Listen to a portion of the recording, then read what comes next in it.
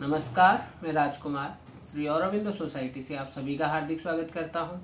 हम शिक्षा में शून्य निवेश नवाचार कार्यक्रम जेड आई आई द्वारा संकलित एक रोचक नवाचार के बारे में विस्तार से चर्चा करेंगे इस वीडियो में मैं आपको मानवीय मूल्यों के अंतर्गत अंडमान और निकोबार द्वीप समूह के नवाचारी शिक्षकों द्वारा विकसित एक रोचक नवाचार के बारे में विस्तार से बताने जा रहा हूँ, जिसका शीर्षक है छात्र टोली आज के समाज में छात्रों के मन से ये जो मानवीय मूल्य गिरते जा रहे हैं, ये एक बहुत गंभीर समस्या बनी हुई है।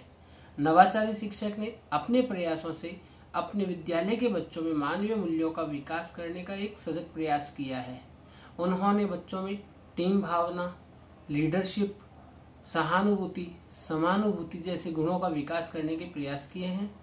सबसे पहले उन्होंने बच्चों से प्रार्थना सभा में ऐसे बड़े नियमों के बारे में बात की, जिसमें उन्होंने मानवीय मूल्यों का बच्चों को महत्व समझाया, किस प्रकार से वो किसी के प्रति सहानुभूति रख सकते हैं, बड़े बुज़ुर्ग लोग, गाँव के जानवर, इसके अलावा ज़रूरतमंदों की सहायता करना, एक टीममेट के रूप में अपने कक्षा के साथियों की सहायता करना, ऐसे कई सारे उदाहरणों के साथ उन्हें गुण समझाने के प्रयास किए।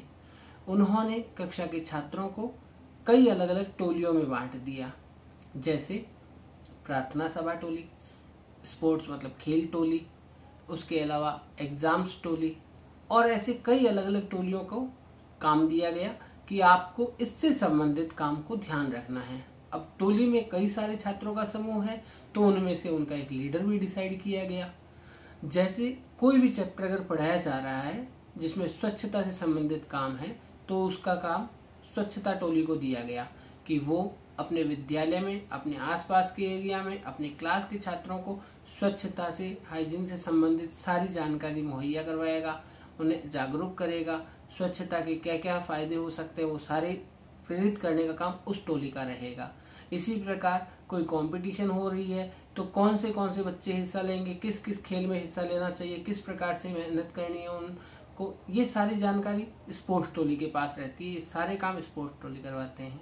इस प्रकार स्वच्छता टोली भी है, जो विद्यालय के अंदर किस प्रकार से हमें स्वच्छता को ध्यान रखना है, स्वच्छ रहेंगे, स्वस्थ रहेंगे तो हम अपने आप को बीमारियों से बचा सकते हैं, और ये सारी बातों का ध्यान रखने के लिए काम इन पर्टिकुलर टोलियों को दिया गया। इसके माध्यम से बच्चों में ज़िम्मेदारी का एहसास हुआ, टीम में मिलकर काम करने की प्रेरणा जगी, और विद्यालय में उनकी निरंतर उपस्थिति बढ़ी। यह एक रोचक गतिविधि है। इसके माध्यम से बच्चों में कई सारे नए गुण और मानवीय मूल्यों का संचार किया जा सकता है। महीने के अंत में जिस टोली ने बहुत अच्छा काम किया, नवाचारी शिक्षक उन्हें प्रार्थना सभा में उसके लीडर को और उस टोली को सामने बुलाकर प्रोत्साहित करते हैं।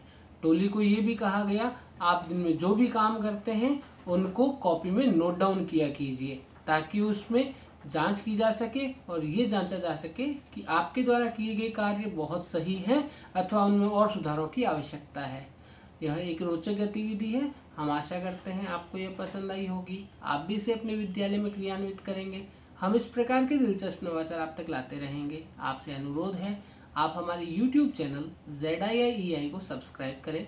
यदि आप ये वीडियो फेसबुक पर देख रहे हैं तो हमारे फेसबुक पेज को अवश्य लाइक करें। आपका बहुत बहुत धन्यवाद।